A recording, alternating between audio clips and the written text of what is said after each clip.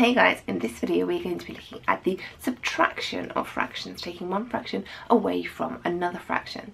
Now if you want loads and loads of examples, if you want to practice as much as you can, then you can try the multiple choice questions on my website or you can go and download the workbook. In this video we're going to go over some easy fractions, some medium fractions and some hard fractions. If you can do the easy ones already then skip to the medium ones. If you can do the medium ones then skip to the hard ones. If you try the medium ones and you're feeling pretty confident with those, then challenge yourself and do ones that are slightly harder than you're used to. This is a brilliant way to push your grade up. Starting off with 5 over 7 minus 3 over 7. Because they have the same number on the bottom, we can rewrite this as 5 minus 3 over 7. 5 minus 3 is 2 over 7. 5 over 11 minus 2 over 11. Again, we can rewrite this as 5 minus 2 over 11 equals 5 minus 2 equals 3 over 11. 8 over 13 minus 12 over 13. 8 minus 12 over 13 equals minus 4 over 13. 7 over 20 minus 3 over 20. 7 minus 3 over 20. 7 minus 3 equals 4 over 20. Both those numbers are divisible by 4. So we can do 4 divided by 4, that gives us 1. 20 divided by 4, that gives us 5. So 1 over 5. 11 over 9 minus 5 over 9. 11 minus 5 over 9 equals 11 minus 5 equals 6 over 9. Both 6 and 9 are divisible by 3, so 6 divided by 3 equals 2. 9 divided by 3 equals 3, so our answer is 2 over 3. Moving on to some slightly trickier ones now, where the numbers on the bottom are not the same. The first thing we need to do is to make them the same. So to make the numbers the same, I'm going to times this one by 10, and I'm going to times this one by 6.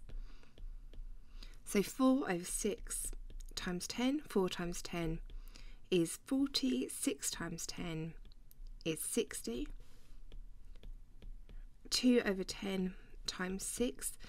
2 times 6 is 12. 10 times 6 is 60. So the sum that I'm going to end up with is 40 over 60 minus 12 over 60. We can write 40 minus 12 over 60. 40 minus 12 is 28 over 60. Both 28 and 60 are divisible by 4. So 28 divided by 4 equals 7. 60 divided by 4 equals 15. So our answer is 7 over 15. 4 over 5 minus 2 over 3. Again, we need to make the bottom number the same. And times this one by 3 and times this one by 5. 4 over 5 times 3. 4 times 3 is 12. 5 times 3 is 15. 2 over 3 times 5. 2 times 5 is 10. 3 times 5 is 15. So the sum we're actually going to be doing is 12 over 15 minus 10 over 15 or 12 minus 10 over 15 12 minus 10 is 2 over 15. 2 over 3 minus 1 over 7. We're going to times the first one by 7. We're going to times the second one by 3. 2 over 3 times 7. So 7 times 2 is 14. 3 times 7 is 21. 1 over 7 times 3 1 times 3 is 3, 7 times 3 is 21. So we have 14 over 21 minus 3 over 21, or 14 minus over 21. 14 minus 3 is 11 over 21. A half minus a quarter. Now here I'm just going to times this one by 2 to make it 4.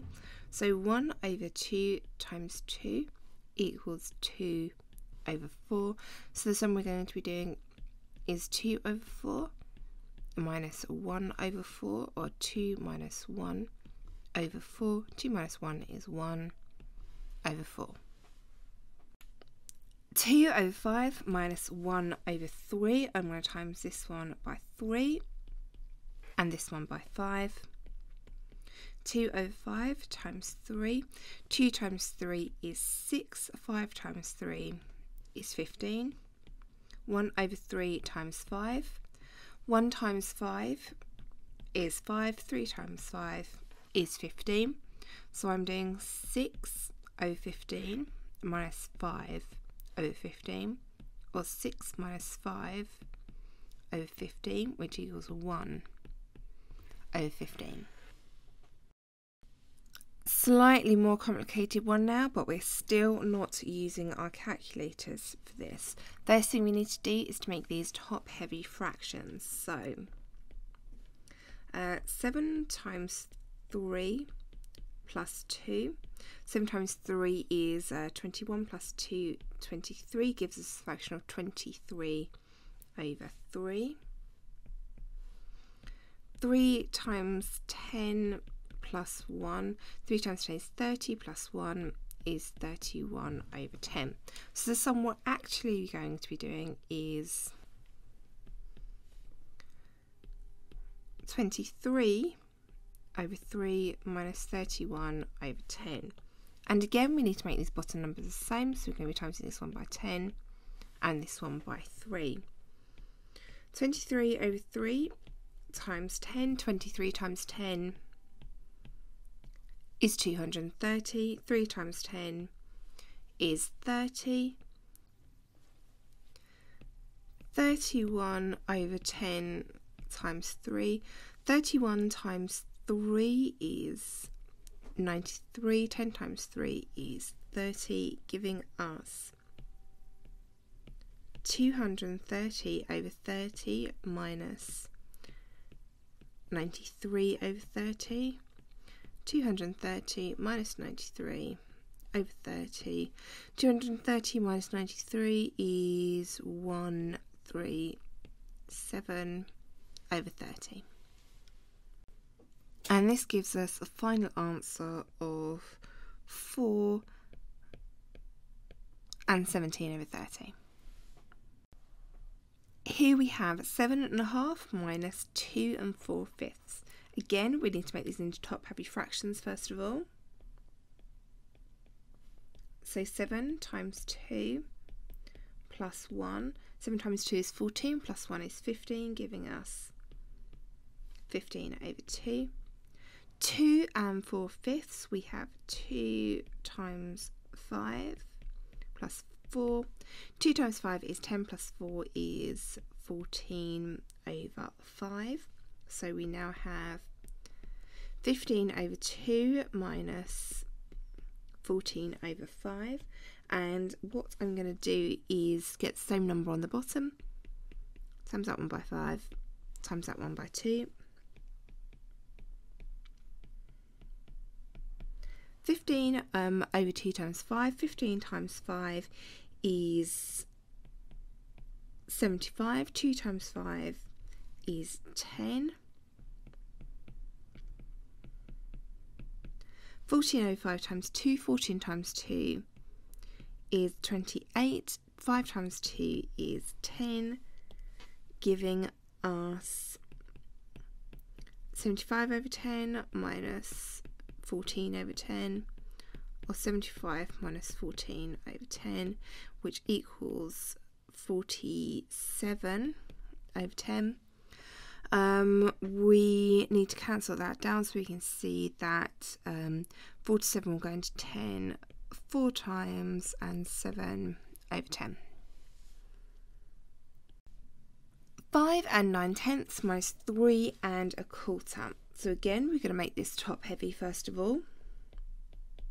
5 times 10 plus 9. 5 times 10 is 50 plus 9 gives us 59 over 10.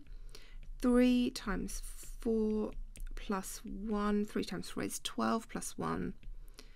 13 over 4. So 59 over 10 times 13 over 4. I'm going to times this one by 4 and this one by 10. 59 over 40 times 4. 59 times 4 is 236 over 40. 13 times 4 times 10. 13 times 4, uh, 13 times 10 is 130. 4 times 10 is 40. So we have now 236 over 40 minus 130 over 40 or 236 minus 130 over 40 236 minus 130 gives us 106 over 40 both those can be divided by 2 which will give us 53 over 20 53 goes into 20 twice so that is going to equal 2 giving us 3 over nope 13 over 20 2 and 13 over 20 11 and 2 thirds minus 9 and a fifth. So I need to do 11 times 3 plus 2 11 times 3 is 33 plus 2 35 over 3 9 times 5 is 45 plus 1 equals 46 over 5, giving us 35 over 3 minus 46 over 5. What I'm going to do is times this one by 5 and this one by 3. 35 over 3 times 5 equals 35 times 5 is 175 5 times 3 times 5 is 15 46 over 5 times 3 46 times 3 is 138 over 15 175 minus 138 over 15. Um, 175 minus 138 is 37 over 15. Um, we can see that 30 will go into 15 twice. That's 2 and 7 over 15. 9 and 3 tenths minus 5 and a third. The first thing we need to do is to make these top heavy. So 9 times 10 plus 3. 9 times 10 is 90, plus 3 gives us 93. Uh, 5 times 3 is 15, plus 1 equals 16 over 3. So we have 93 over 10 minus 16 over 3. Now I'm going to times this one by 3 and I'm going to times this one by 10 to get the numbers on the bottom the same. 93 over 10 times 3. 93 times 3 is 279. 3 times 10 is 30. 16 over 3 times 10. 16 times 10 is 160. 3 times 10 is 30. So we have 279 over 30 minus 160 over 30 or 279 minus 160 over 30. 279 minus 160 will give us 119 over 30. Now we know 120, we're going to 34 times. This one's going three times. And we have 29 thirtieths left over.